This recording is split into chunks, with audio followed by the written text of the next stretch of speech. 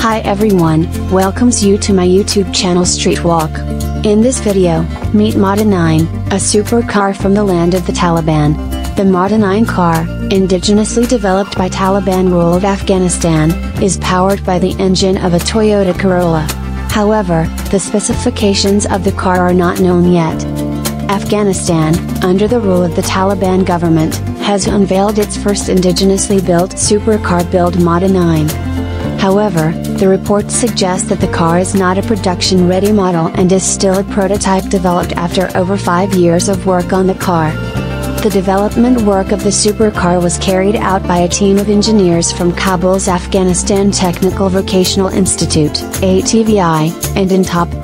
This model is currently on display at Hotel Serena, Kabul. Thank you for watching this video. Please like this video and subscribe to my YouTube channel Streetwalk.